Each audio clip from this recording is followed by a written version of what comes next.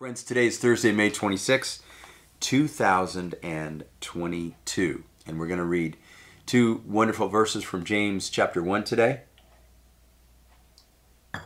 Let's get right to it.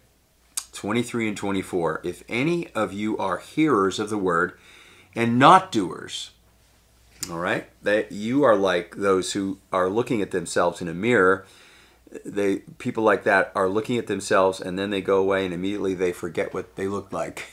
it's a little bit of a little bit of humor here from James.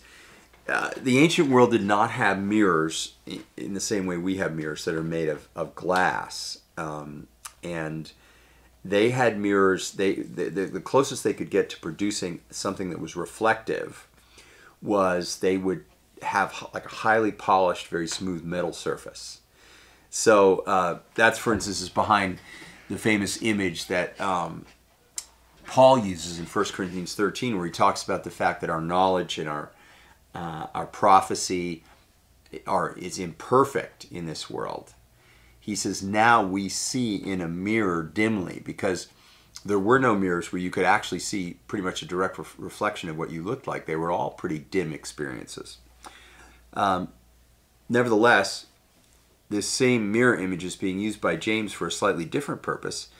He is uh, talking about how he's really hinting at a reality that's inside of us. That anything we see outside of us, we, we, it's like we're taking a picture of that. I'm looking out the window now. I see trees. I see a plaza. I see benches. I see flowers. I see the wind moving things. But when I turn back to, to think about you that, that are listening to this, uh, that image is gone from my immediate consciousness and I'd have to do a whole act of remembrance and recovery in order to uh, be able to reimagine what it looks like out that window, and I wouldn't get it perfectly perfectly right. Uh, it's hard to recall things. The things that we see uh, as our attention shifts to something else are gone, and that's what's called a stream of consciousness. The fact that our our mind, in effect, is like a camera or it's like a screen to some degree and passing along that screen are all kinds of sensory impressions, one after the other. And, and our body is aware of all kinds of things the temperature in the room, the sounds that are happening, the visuals. At the same time, we're having maybe a memory, or we're having a thought, or we're asking a question, or someone, we're having uh, another voice that's coming in to grab our attention. And so there's this whole, in effect, cacophony of, of impressions and noises and, and, emotions that are happening inside of us all the time. And so uh, something that we grasp in a moment will be gone unless we rehearse it and treasure it and put it actually into practice, unless we do it. Then it becomes part of our identity and our biography and our practice in our life. If this makes sense to you. So when you hear, uh, when you get a new insight, this is why it's so important to put it into practice before it's gone it's lost in the stream of consciousness like a river that continues to move. Uh, I first became aware of this, I talked about a little bit on Sunday, with the reading of James Joyce's uh, novel Ulysses.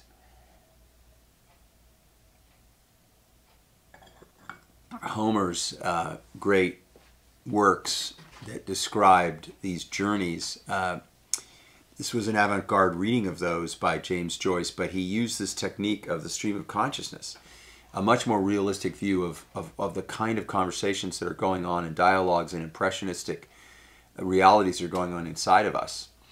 And it was really a chaotic read because a lot of what happens in our minds is pretty much of a jumble until we, we focus on something and begin to narrow down.